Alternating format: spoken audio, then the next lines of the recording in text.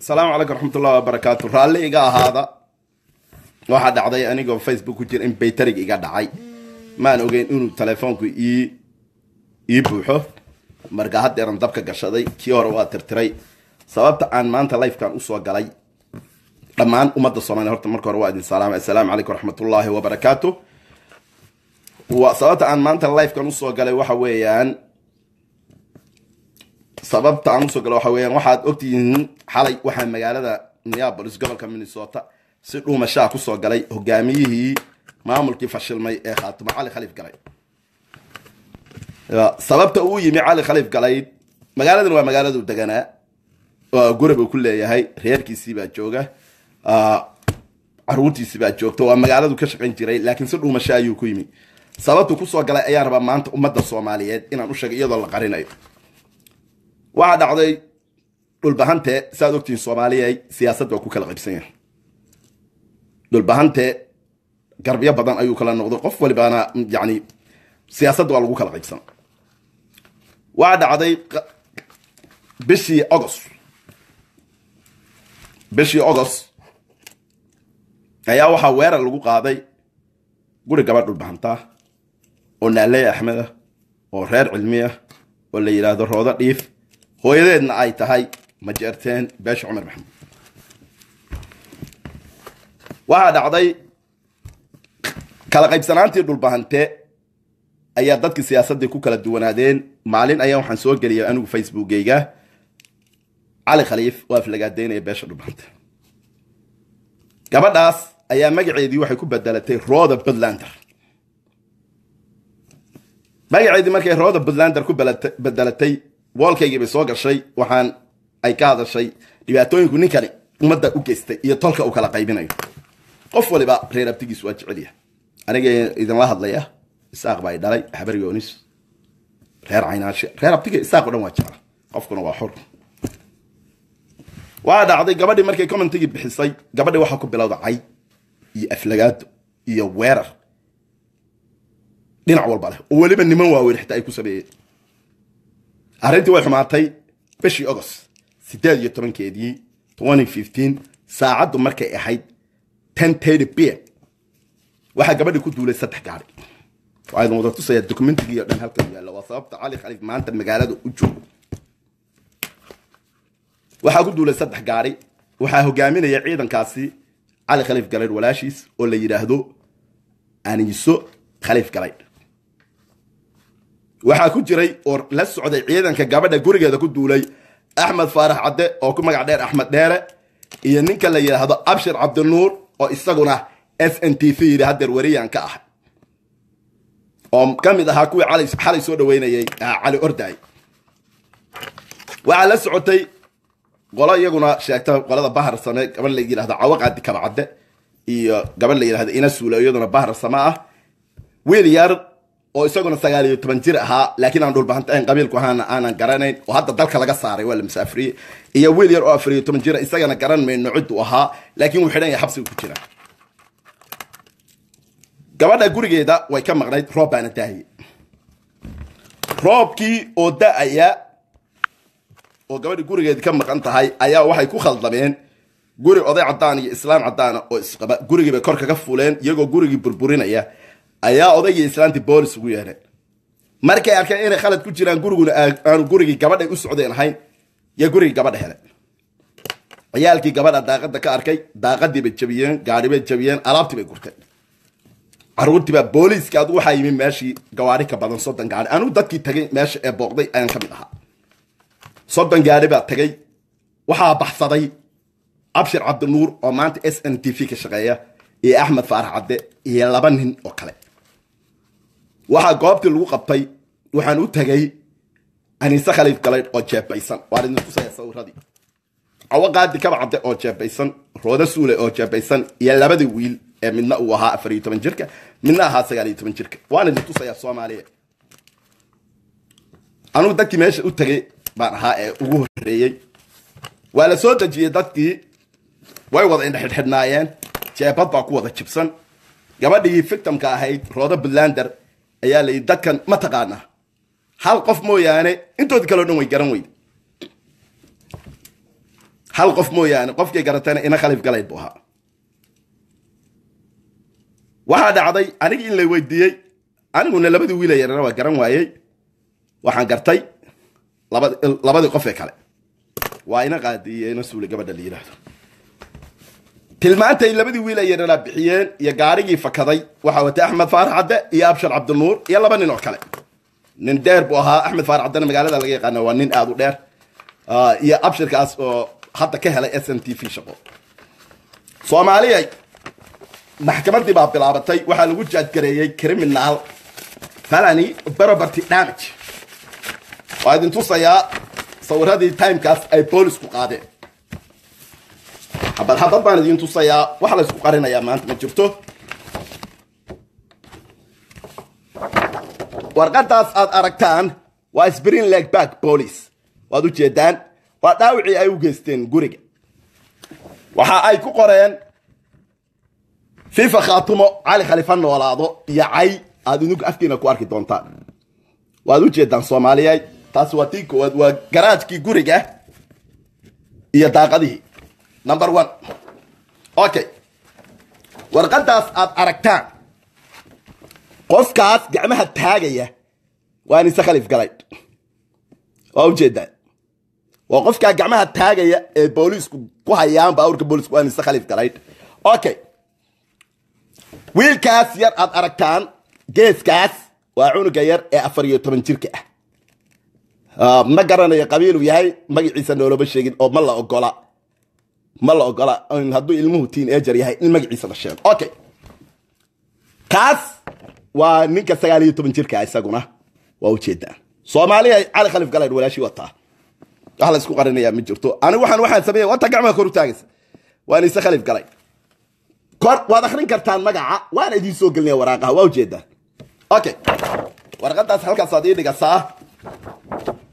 Sprinleg okay qofkaas aad aragtaan waa cawaqaadi kaba cadde waa gabadha aan idiin sheegayo ee la degan la degta qolada bahar sabe aabaheed wuu sheegtaa oo odaygii kuugii la foola ayaa dhalay. Waa cawaqaadi kaba cadde waa u jeedaa waa jeebaysanta okay gabadhaas aad aragtaan soomaaliya iyaduna gacmaha kor faankaasi waa faankay wateen. Waxaa iska lahaa nin u dhashay beesha ogaadeen oo cawaya guriga ay wada degan yihiin. Waxay ku tiri reerkayaga ayaan ka yimi africa oo aan ku soo qaadaya codkii aan ka duubay ayaan hayaa. Gabadhaasi waa rooda suuley waa la xukumay iyada. Laba sano berbeshina la geliyey falani baa lagu qabtay. Afar iyo toban kun oo ganaaxana waa lagu xukumay.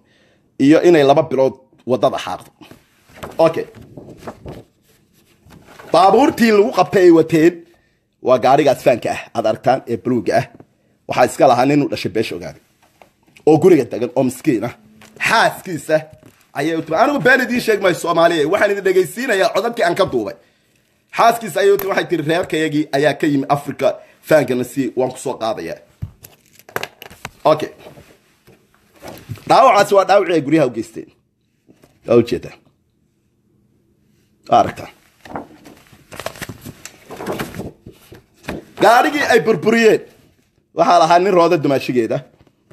Oo ka yimid noora dakoodha waa gaariga lagala baxay dahabka? Labada labtob iyo telefoon iphone ahaa waa ka. Waa telefoonka iphoneka waa ka. Maanta ina khalif galayd isticmaalayso okay tanna waa islayadii oo kale waa daamijkii ay geysteen ee guriga ay u geysteen waa u jeedaa okay kuwaasoo dhan waa idin tusay kuwaasoo dhan waa idin tusay soomaaliyay maanta waxaa la iskula harayaa ma jirto. Sababta cali khaliif magaalada u yimi hogaamiyay ku leeyihiin hogaamiye. Khaatumay ku leeyihiin khaatumo khaatumay ku leeyihiin khaatumo okay. Waxaan oo fayl ah. Waa idiin soo bandhigayaa maasha allah. Wax la qarinayaa maanta ma jirto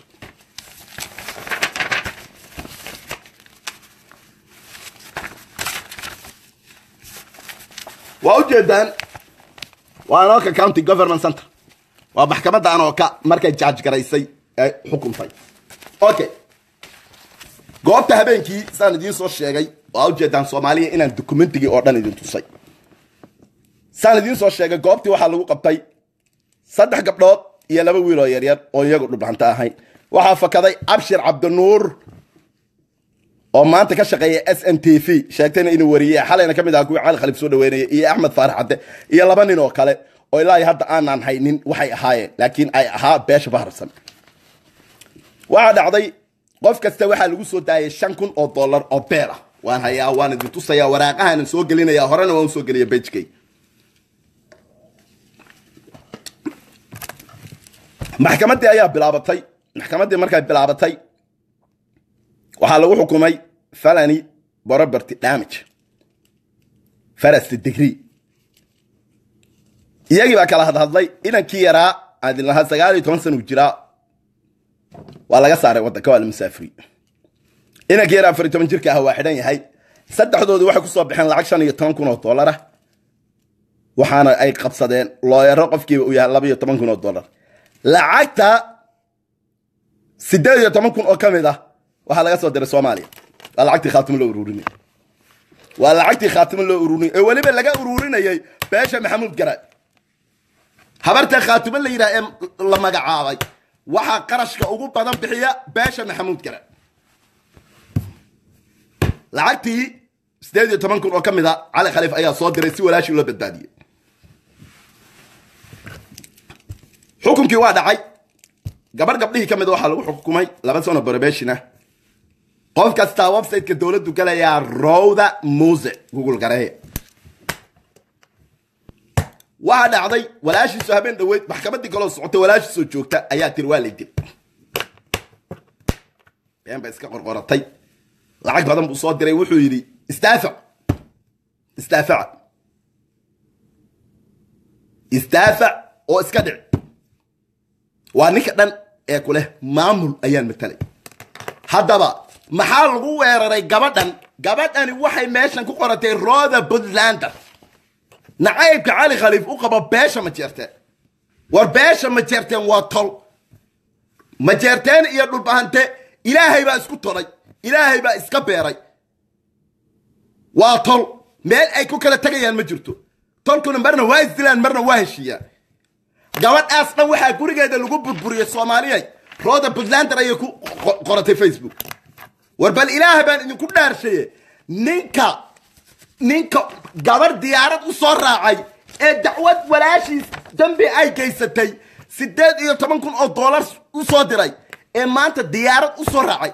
Soomaaliya muxuu matalayaa cali khaliif galay. Wuxuu isku diray dhulbaxanta. Taleex buu tagay. Wuxuu isku dilay laba jilibo maxamuud garaado nuur axmeda boohooduu yimi wuxuu isku diray laba jilibo axmed garaada.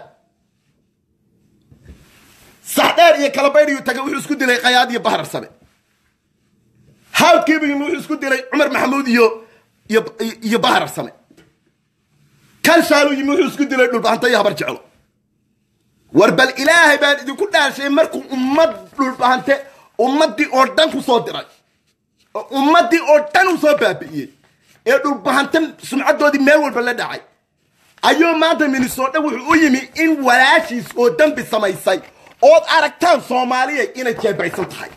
Ood u jeedaan.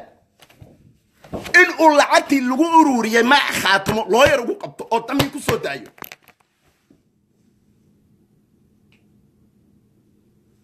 Yuu maanta ninkaasi diyaaradda u soo raaco dhuumashada ugu soo galay. Soomaali ma isweydiisay ninkani ilan waa hogaamiye dhane waa maxay dhuumashadan ugu soo galay?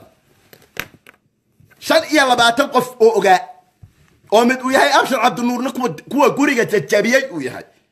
Oo shan iyo labaatan qof uu yidhi haddan s n t v baan shaqo ka hela oo weriyaan ahay yaa soo dhaweeyey waxaa markhaati iga ah in dadkaasi dembigaa galeen oo la xidhay websaytada iyo meel walba way ku jirtaa. Yaasiin ducaale oo ah weriye aad wada taqaanaan yaa xitaa riboodada arkay oo indhehayga ku tusa. Maantana waa anigaa idin wada tusay. Cali khaliif markuu isku soo rogay dhulbahanta iyo dhulbahanta iyo tolkii harti markuu soo kala dilay. Dhulbahanta iyo isaaq iska isdhale markuu soo kala dilay. Dhulbahanta guduhiisii markuu soo kala dilay. Maanta wuxuu yimi inuu minneapolis kala dilo oo weliba khalad walaashihii samaysay.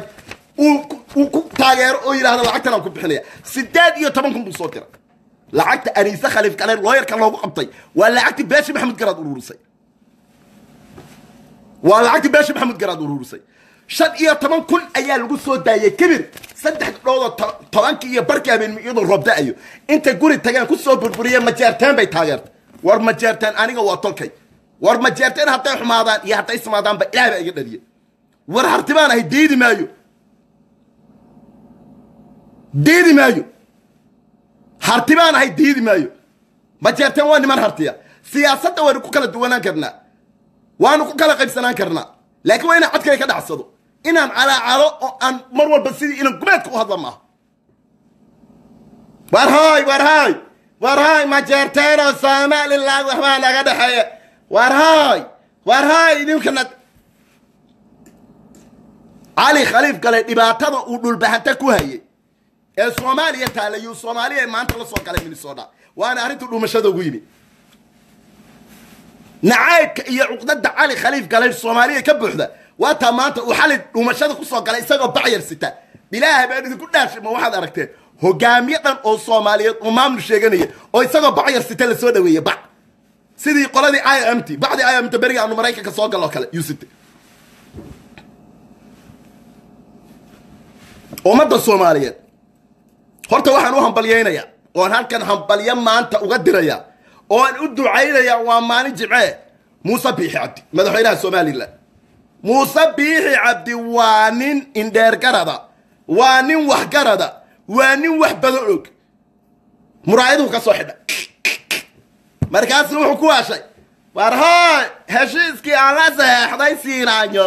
War hooy lama fulinin war hooy indhuhu ka soo xidhay saas uga dallacad markuu yidhi ma magacaabi kartid. Muuse wuxuu ku yidhi ha magacaabin yaasiin maxamuud xiir oo ahaa nin jaamac siyaada. Oo ahaa nin jaamac siyaada wasiirka arrimaha gudahana wuxuu yidhi ma magacaabi kartid. Waroon naga tag buu yidhi. Soomaaliye soomaaliya wax maanta aan qarinayaa ma jiro. Gabadhaas bishaas ayuu ku dhacay weerarku sannadkii fifteen. Anigaygan idinla hadlayaa fictan baan ahaa anigaygan idinla hadlaya fictan baan ahaa. twenty fourteenkii ayaa shan iyo labaatan qof oo bahar same iskugu kay tageen. Maxaa layga raaca? Bal waxa la iga raacaan maanta idiin sheegayaan ay dadkaasi igula dagaalameen ee maxkamadaha laygula tegay ee siyaata laga yimi ee boston laga yimi ee virginia laga yimi ee labaatan states kaga yimaadeen. Soomaaliya waxaa dhacday markii la aasaasay ururkii u s c ee daacadda ahaa ee allaha u naxariistay ay saado cali warsame noolay. Saado cali warsame ayaa noolay. Anigu waajib baysraa waxaan ahaa nin s c waxaan arkayay in dhulbahanta nin u soo baxay saleebaan ciise xagla toosi u daacad yahay. Waxaan samaynaya rikoodhino waxaan wacaya madaxda somalilan waxaan wacaya marba dhinac. Siiraanyo wararkii aan ka duubay baa ku jira. Maxamed kaahin oo wasiirka arrimaha dibadda arrimaha gudaha maanta xataa waa ka duubay waxaan ka duubay cadami waxaan ka duubay nuux taani taliyihii ciidamada somalilan waxaa dhacday habeen habeenada ka mida inaan wacay axmed cabdi xaabsade oo ahaa nin baharsamaa waa loo sii digay. Markii loo sii digay ayaa waxaa lagu yidhi isilaali waxaa ku soo wacaya nin noocaas. Waa wacayo waxaan sheegtay nin reerahoodii wuxuu gu yidhi orooyadaa wase warkaaga waa hay soo wic waa qosla waa qos waa orgaada in loo sii digay. Arrintii markay halkaa marayso ayaa waxaa dhacday waxaa yimi boston iyo meelo badan bay iskaga yimaadeen. Guri aan deganaan jiro jikaaka iyo fifteenka ku yaalay hool ku dhow bay ku qabsadeen shir beesha baharsane shirka macnihiisu wuxuu ahaa in loo uruuriyo dhakhtar ku yaalla tuuladooda lacag. Waxaan maanta idiin sharaxayaa dhibkii gabadha rooda puntlander ku dhacay kiisii la midka ahaa ee aniga igu dhacay beesha baharsane maalin walba soomaaliya waxay aragtaa anigoo cali khaliif ku dhegan oo baharsame ku dhegan ee maxaa sababay lama yidhaahdo.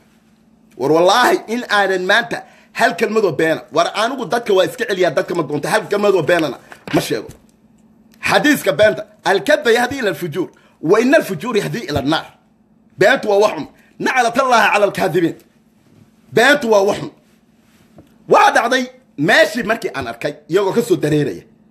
Qorshaha laiskugu muxuu ahaa meesha dhakhtar loo guro qolo waxaa kacday ay xaabsan adeeru yaholeeya makoo safaare oo boston ka yimi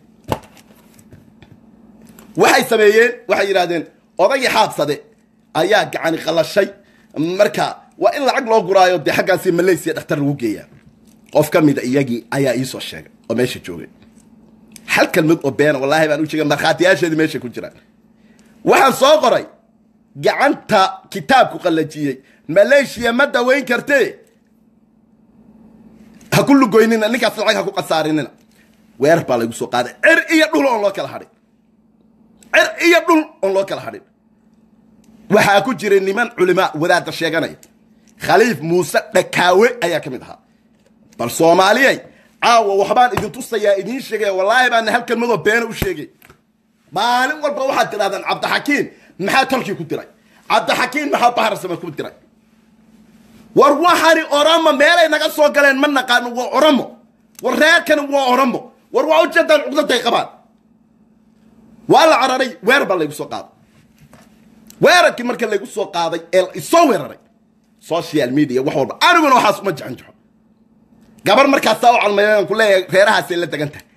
Oo meesha countiga ka shaqaysa ayaa waxay soo qaaday social securitkaygii adarayskaygii daawooyinkaygii magacaygii facebook bay soo gelisay.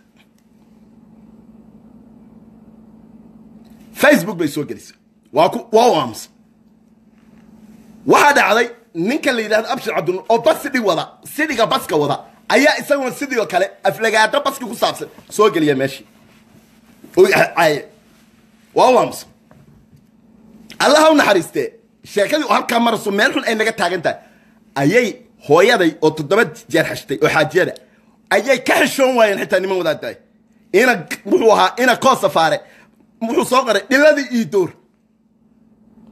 Khaliil muuse dhikaa waa comment u bixiyey. Xaaladii oo halkaasi marasa ayaa waxaa dhacday. Waxaa magaalada yimi. Waxaa la dilay saado cali warsame. Allah u naxariistay saado fanaano soomaaliyeed bay ahayd waxaa la yidhi ha lagu mudaharaado.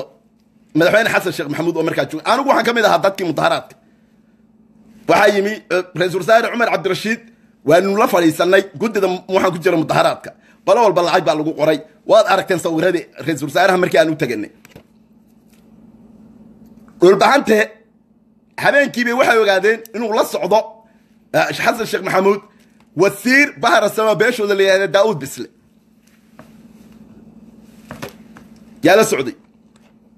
Ninka la yidhaahdo abshir cabdinuur iyo ninka la yidhahdo axmed dheere axmed faaracadde ayaa waxay soo qoreen saado cali dhilay ahayd qof maytiya oo eedadooda oo dhimatay. Yay soo qoreen saado cali dhilay ahayd soomaaliya ilaah baan idinku dhaarshiyo qoraaladii baan hayaa oo wallaahi oo bilaahi oo talahay mudaharaadkii baa dhacay mudaharaadkii markhaatiyaashii meesha ku jiraan sawirkiina waan soo dhigaya. Dhoontoonkaanu ku mudaharaadanay laba nin ayaa dhinacayga taagnaa. Labada nin baa maanta facebookaygula jiraan. Nina waa warsangeli nina waa dhulbahanta. Iyo aniga is dhinac taagan abshirkaan leeyahay s m t v ee baska wade yaa wuxuu soo qoray waxaani mudaharaad ma ahayne waxaa hogaaminayey nin bidaar leh iyo nin indhala iyo nin curyaana ninku raggu caaya waa aniga mid waxa weeyaan waa yarka aan ii sheegay dhulbahanta midna waa yarka warsagi way carareen. Nin qora shacabka media oo la yidhaahdo goodo goodo oo cumar maxamuuda saan jeclahay ayaa waxaa ay u tageen nin la yidhahdo cali xaraare qoladii baharsane goodo gooda u diray lacag waxaa la yidhi cabdixakiim waxaad ku soo caydaa websiteki shacabka media mise shacabka news baha ma garanayo suldaan goodo gooda la yidhahdaa wuxuu soo qoray goodo goodo nin yaman kaga soo galay diinta masiixiga. Wax been aan sheegay kelmad beena inaan iin sheegin wax waliba waa yaallaan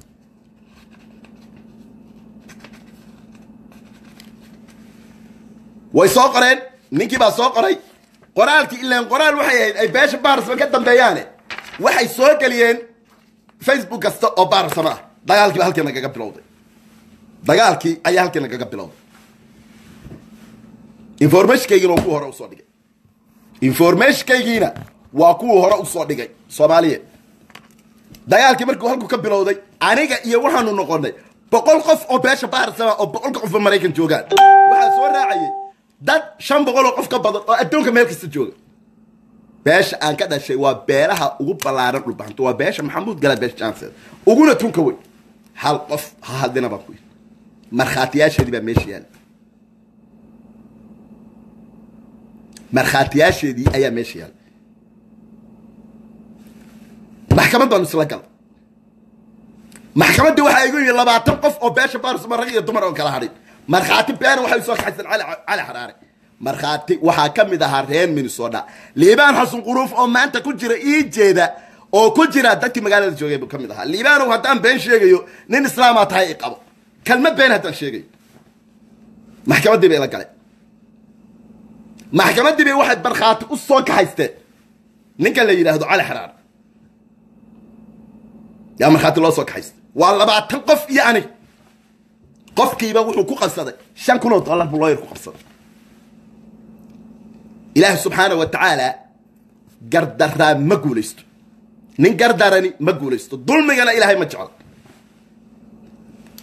Diintaydii bay ku kafeen garaadaysiyo soon iyo salaad igama tegin cirdigaygii bay ku gafeen diintaydii ku gafeen waxay yidhahdaan gaalnimi ku soo gal. Sharafteedii bay ku gafeen waalidkay oo toddoba jeer soo xashibay oo ka xeshan waaye. Wallaahi oo bilaahi waa maalin jimce. Soomaaliya kitaab ayaan gacanta ku saarayaa waxaad aragteen anoo reerkaa ku kacsan in aanan ka gardarnayn yaa ilaahaygu ogiy rasuulkiigu ogya sagaashanka magacay allah ku dhaaranayaa inay dulmiyeen oo dulmigu soo doonteen waxaa magaalada yimi. Marka anigu waxaan ahaa khaatumo. Magac khaatumo iyo magac dhulbantaan aaminsana. Waxaa magaalada yimi cali khaliif galay arrinta waxaa lagala socday ilaa iyo soomaaliya. Waa soo wacay wuxuu gel adeer waa la dhammaynayaa.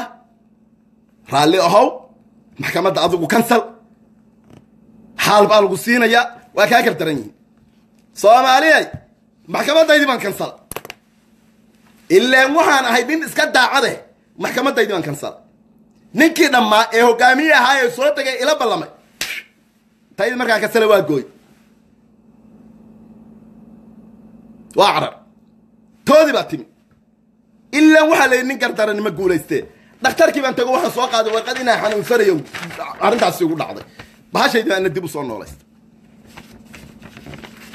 markhaatiga waxay u soo kaxaystay ninka la yidhahdo cali xaraari oo ay siiyeen laba boqol dollar. Cali xaraari markuu markhaatigii oo dhan dhameeyey ilaan waa nin khaa'inah ayaa la yidhi cali ow cabdixakiin iyo adigu ma istaqaanaa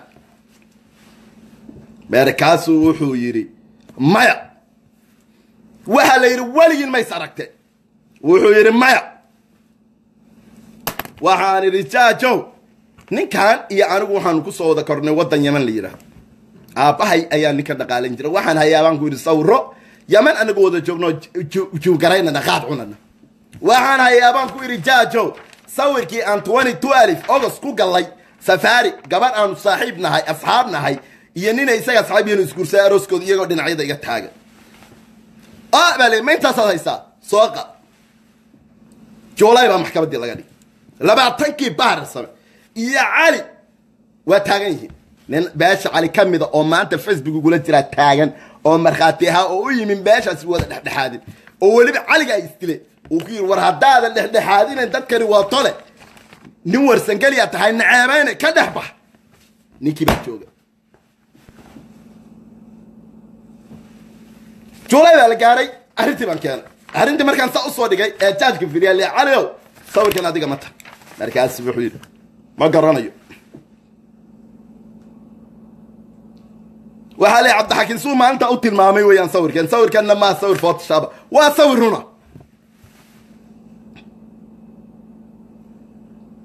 Cali waxaa la kadaa baa tahay beenaale markhaati dambe kama furi kartid meesha waa baryahaas waa baryuhu maxamuud saleebaanka caayi jiray. Ee uu oran jiray maxamuud saleebaan baa kan sameeyey maxamuud saleebaan baa kan sameeyey. Maxkamaddii waxaa la yidhi istaaga. Waxaa la ina koo safaaro waa nimankii bahar samay qaar ka mid a. Istaag baa la mustafa xaaji cali waa ina koo safaare xagee ka timi markaasuu yidhi boston. Oo cabdixakiin boston buu kugu yimi war fadhiisaa layi waxa la khaliif warsame dhakaawo istaag.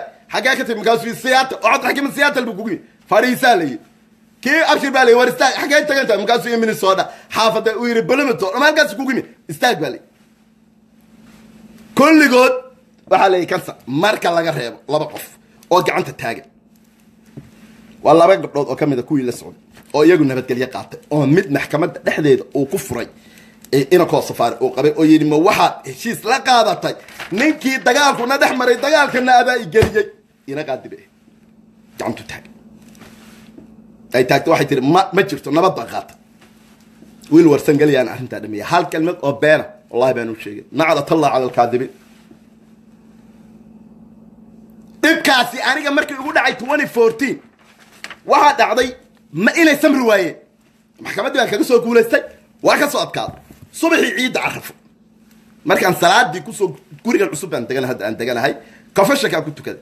Salaadii markaan soo tukaday ya albaabkii laygu soo garaacay anoo iska yara jiifsada oon weli soo quraacane hostes bani waxaa laga yidhi sherif waa boolis warqadday sidaan waa ka furo oh hi hi how are you how are you waxaa laga yidhi warqadahan aan ku sugnaa ninbaa ninbaa kaa baqaya la yidhaahdo cali cabdi xurse cali xaraare oo yidhi wuu idilaya warqadahan ho waa ninkaan ka soo guulaysta beenta sheegay kadaabkii wey warqadihii baan qaatay waa akhristay okay baan ku you maxkamad baan u qabsaday maxkamaddii baan iskugu nimi.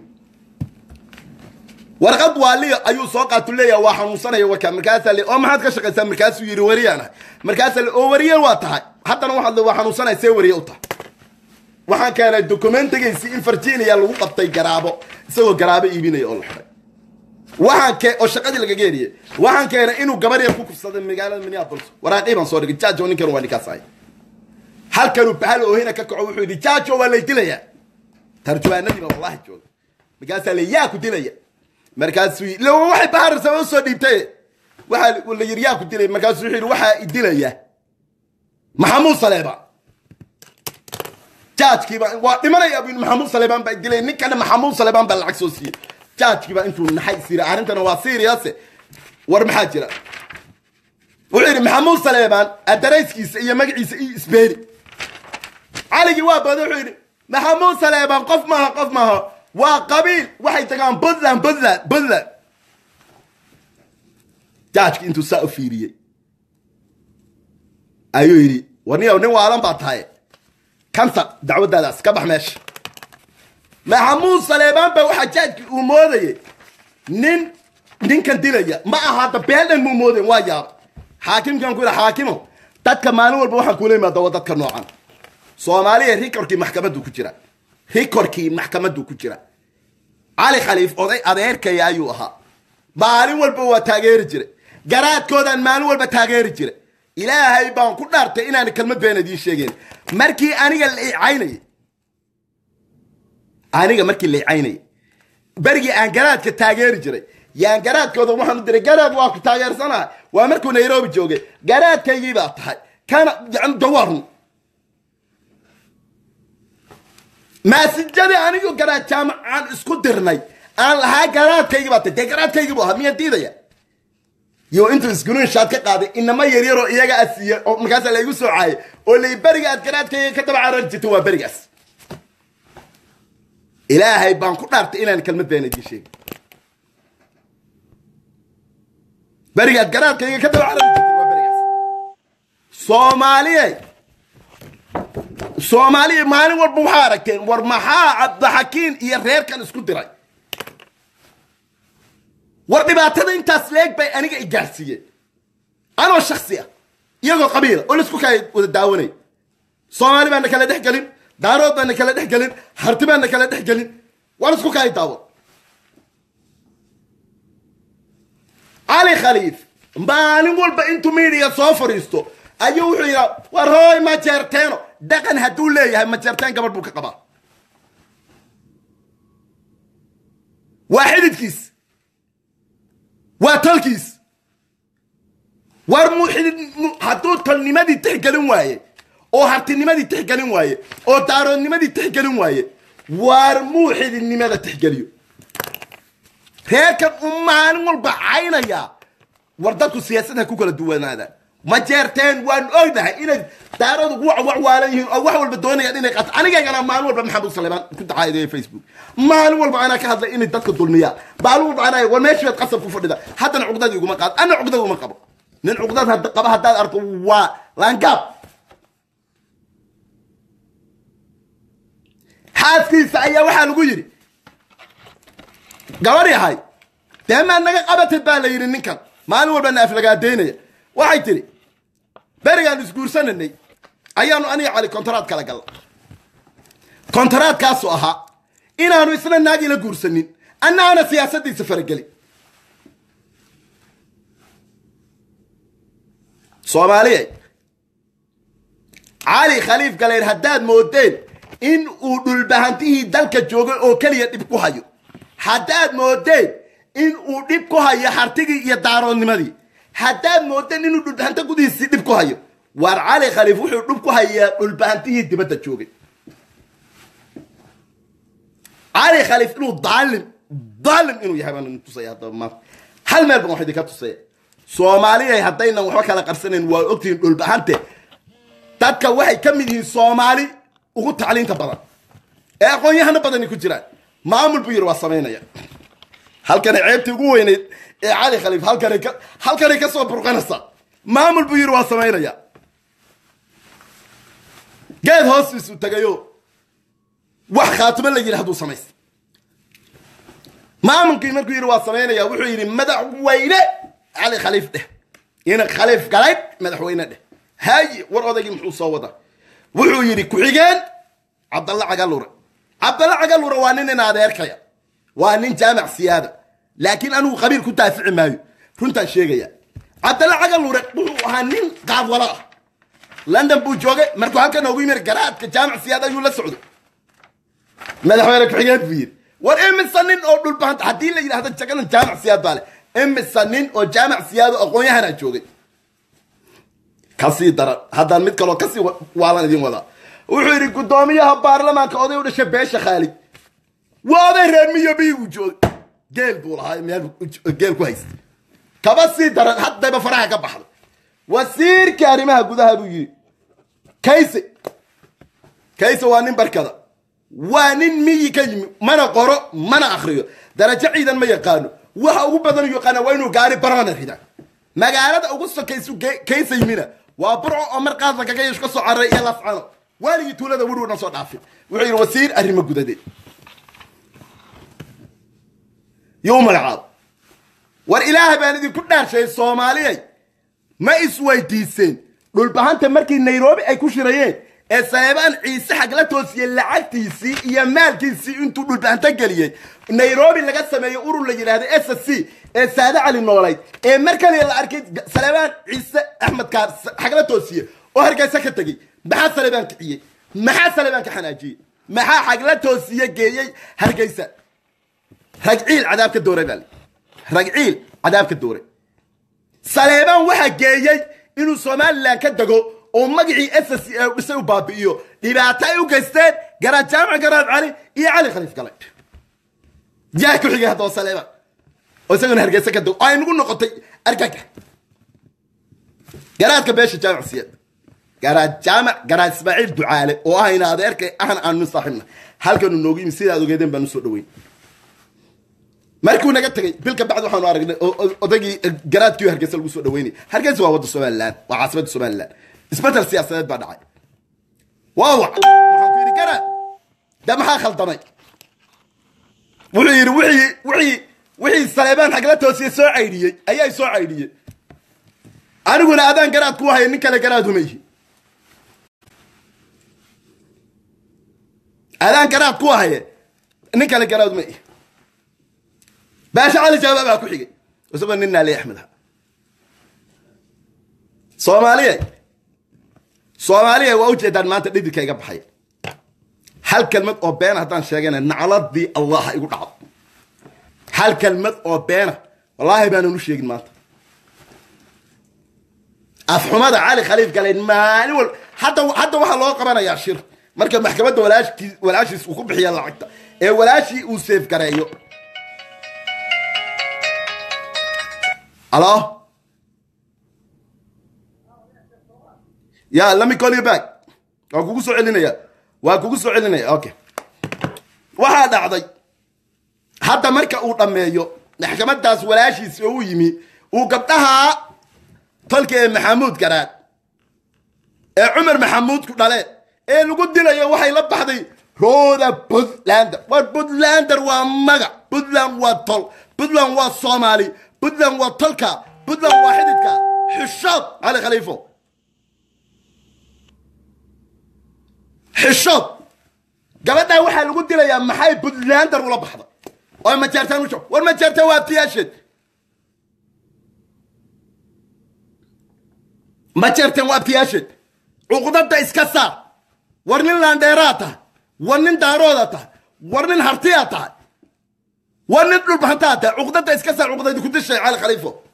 Markuu hadda maxkamadaa ku bixiya labaatan kun oo dollar ee gabdhaha tolka ah uu yidhahdo dacwadaha lagu soo waa lacagtii maxamuud garaad laga guray.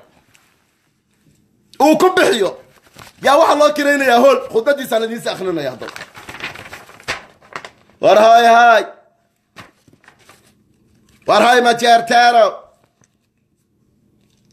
war hay majeerteero war somalilan waxbaa naga dhexeeya war hay majeerteenow nadaaya waa taa khudbadiis waa khudbadda calaqal halkaasay ku dhamaatay. Hool baa loo kiray. Madaxweyne soo dhaawa baa lii xalay waxa aan xalay ku qoslay waxay ahayd.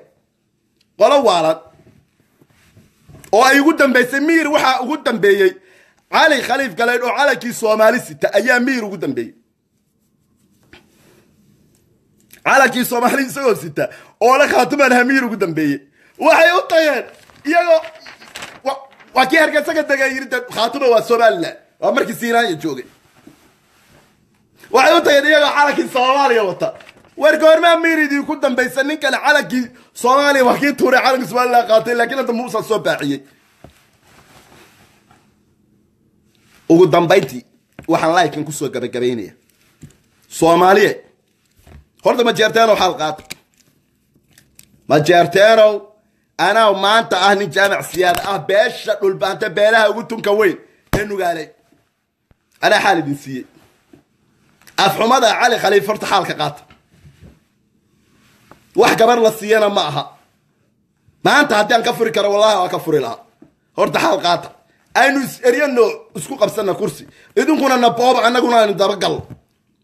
Laakiin waxa uu ku hadlayaa wax nin nin aan cuqdadii dishay baa ku hadla hadallada cali khaliif. War ma jeerteen sidaada kale waxooga dhacso. War ma jeerteen qabso kalerka ku dheg. War ma jeerteeno waana dhacda laakiin war hooy hooy! War waxba iskuma nihin war waanu isku naha. War anigu hadda somalilan baan aamsanahay inaan ahay. Am somalilan baan la taaganahay. Waanan ahay. Laakiin dhalasho nin hartiyaan dhalasho nin hartiyaan ahay ilaahay baa isku kaaya beerayan iyo ma jeerteen oo daarood naga wada dhaliyey oo harti naga wada dhaliyey oo kabladax naga wada dhaliy miyaan diidayaa laakiin siyaasadda waa ku kala qaybsanna. Adigu harti waxaad diidan tahay daaroodnimadii waxaad diidan tahay hartinimadii waxaad diidan tahay tolnimadii war miyaad waalan tahay?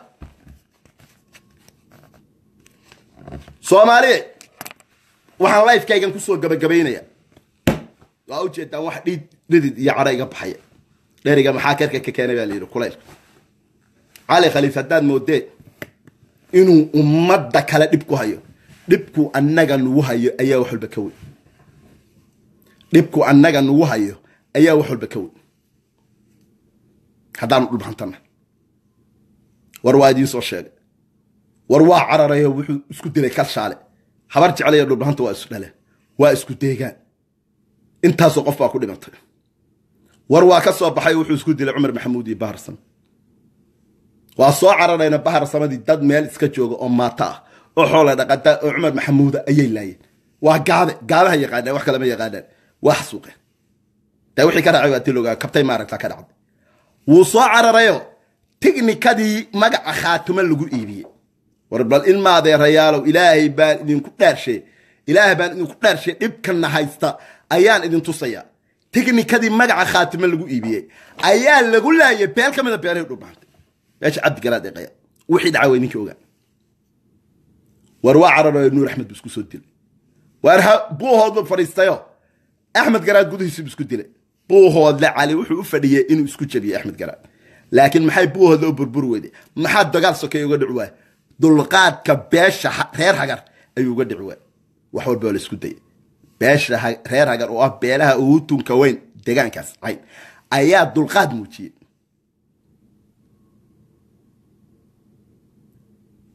Wax dagaalamay samayn wixii la ogaa baana dhacay. Maalin walba wuxuu buuhooda ugu noqnoqdaa inuu dagaal ka rido oo beela halkaa degan isku dilo. Soomaaliya ninkani waana dhiba ninkani dhibaatada uu annaga nagu hayo iyo dhibaatada uu ku hayo tolka iyo dhibaatada waa dhulbahanta maanta waxaa geeri go-an ka dhigay waa cali war shilin kuma haro. War shilin ku yeedhaa dhulbahanta ma jiro. War bal ilaaha baan idinku five million dollar ayaa waxaa laga dirayay gobolka minnesota oo keliya.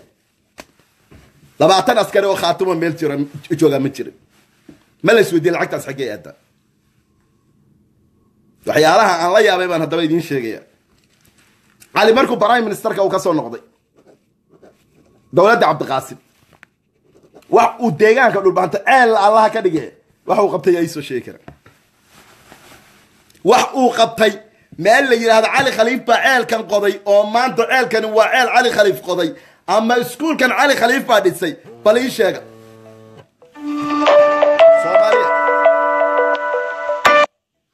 ii sheega. Waxaad ii sheegtaan meel la yidhaahdo cali khaliif baa dhisay ama iskuul la yidhahdo cali khaliif baa dhisay. Damiirka cali khaliif inuu dhintay baan idiin sheegayaa. Markuu somalilan tegay wuxuu tegay jaamacadihii. Rag baa dhistay adoo kale ah. Rag jaamiciyiina oo ama gadabiirsiya ama isaaqa ayaa dhistay oo waddankooda dhistay. War meeshu qurux weyna war waa jaamac war waa cali wuxuu la soo fakaday lacagtii warshadii sonkorta ee soomaaliya meeluu ceel ka qoday ama guri ka dhisay ii sheeg. Meeluu ceel ka qoday ama guri ka dhisay ii sheeg. Dhulbahantu hal meel oo cali khaliif maanta wax ka dhigta. Car waa ninka itus car haddaydan qabiil ku taageerin. Car! Waxbaha ka xumaanina maanta sheekh soomaali baa ceebta cali khaliif banaanka soo dhigay. Ha ka xumaanina. Wallahi banaankan keenaya. Iyo bilaahi talaa waxaan maanta la haraya ma jirto. Soomaalida waxay ku maamaahaa nin qoyar bs kama dhowro. Xagala toosiye cusbitaal ku kacay cusbitaal ku kacay sagaal boqol oo kun oo dollar ayaa buuhoodla ka dhisan oo saleebeen xagla toosiye dhisan. Xagla toosiye magacu seebuu xagla toosiye ugu baxay. Markuu tegay baa dad gaajaysan oo dhibaataysan oo talkiisa ayuu caawiyey. Markaasaa la yidhi xagla toosiye xaglihii isku laabnaabuu toosiye wey bal waxaad ii sheegtaan dhulbaxantow cali khaliif prime minister buu soo noqday ilaan qabiil baynu ku daafacana kuwa qabiilka ku daafacayo meel uu cali khaliif wax ka qabtay ii sheega. Iskuoluu dhisay ii sheega ceel uu qoday ii sheega. Ma jiro. Waxa ugu badanuu cali khaliif qabtay waa inuu majeerteen caaye. Uu yidhaa war majeerteen waa taas. Taasaa rabtaan leena. War cuqdad baa idin dishay cuqdada iska saara. Majeerteen haddaad wax la qaybsanaysaan la qaybsada majeerteen haddaad cadkiina ka dhacsanaysaan ka dhacsada laakiin miidiya ha la soo istaagin laba kelmadood oo cuqdada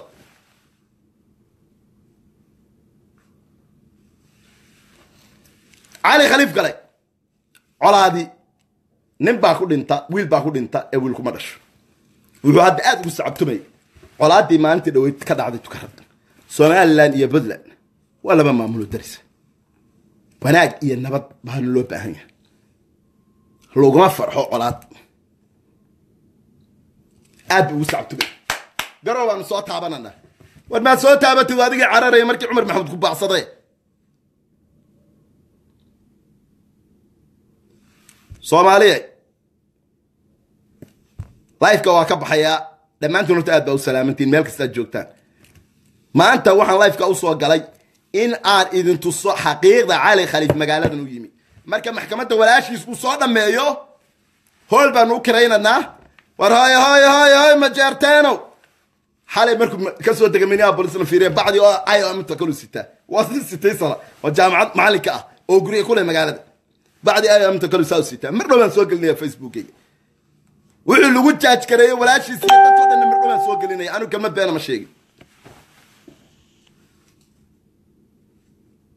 Soomaaliyay waxaan idinkaga tegayaa soomaaliya ha noolaato.